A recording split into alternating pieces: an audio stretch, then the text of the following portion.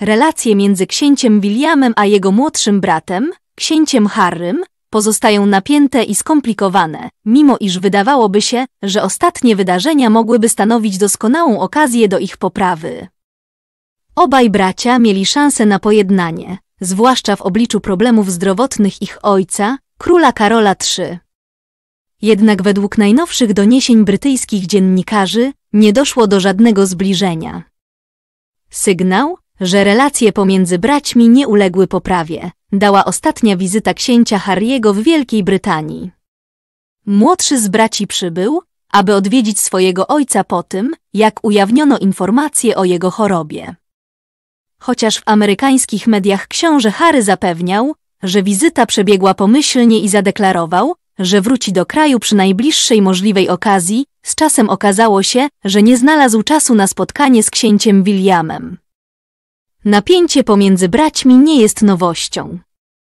W ostatnich latach różnice w podejściu do życia publicznego, wyborach osobistych oraz obowiązkach królewskich doprowadziły do coraz większego oddalenia między Harrym a Williamem.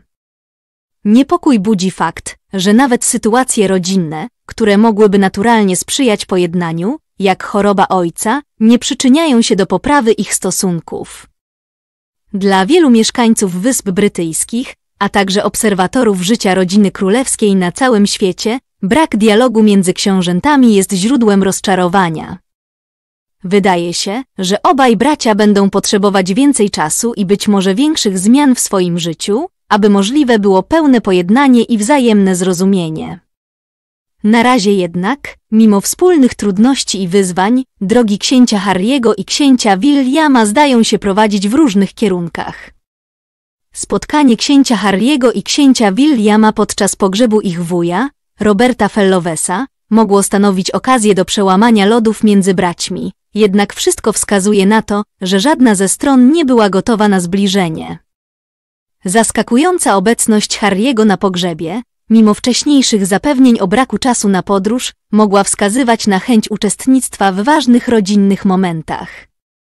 Jednak, jak donoszą dziennikarze The Sun, nie doszło do żadnej znaczącej interakcji między braćmi.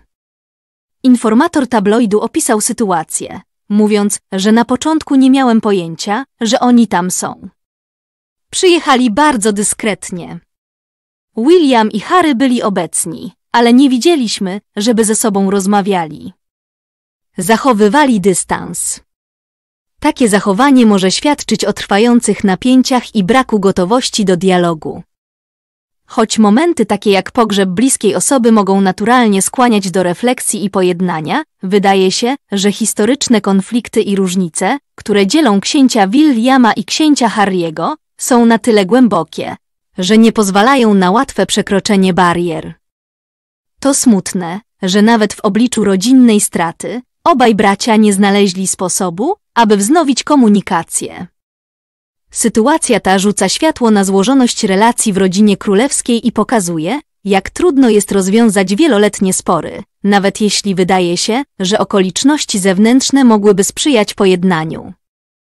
Publiczne oczekiwania i ciągłe obserwacje mediów z pewnością nie ułatwiają sytuacji, a każdy ich ruch jest analizowany i interpretowany, co może dodatkowo komplikować ich osobiste relacje.